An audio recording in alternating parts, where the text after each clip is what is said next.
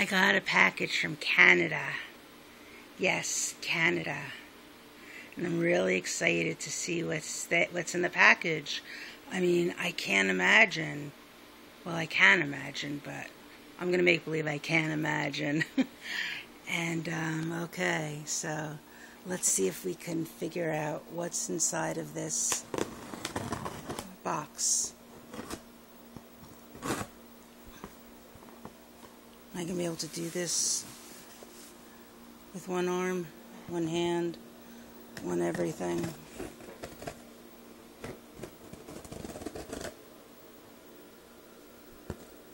Yeah. Wow. Hmm. Okay. Let's see how much I could do. Why am I torturing myself for? Silly. And I'm torturing you guys. Silly. Let me open up the box and uh, I'll be right back.